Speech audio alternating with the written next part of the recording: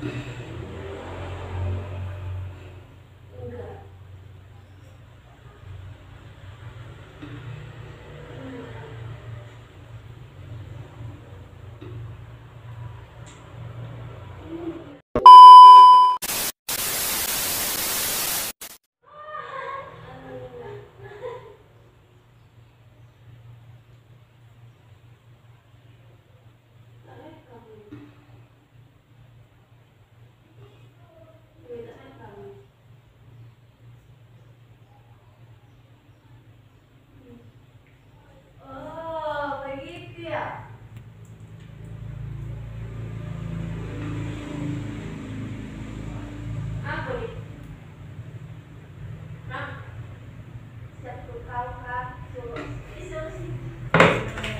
やってない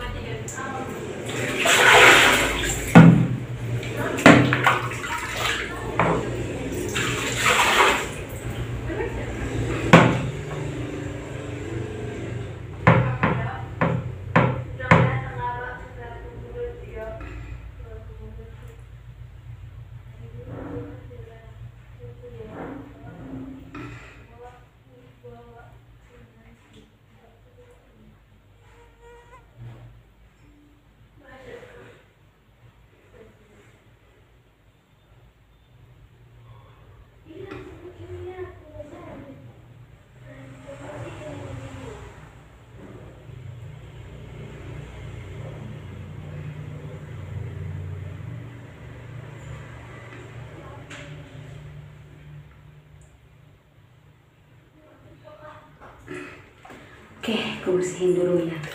Ya se sabe, como si endurula.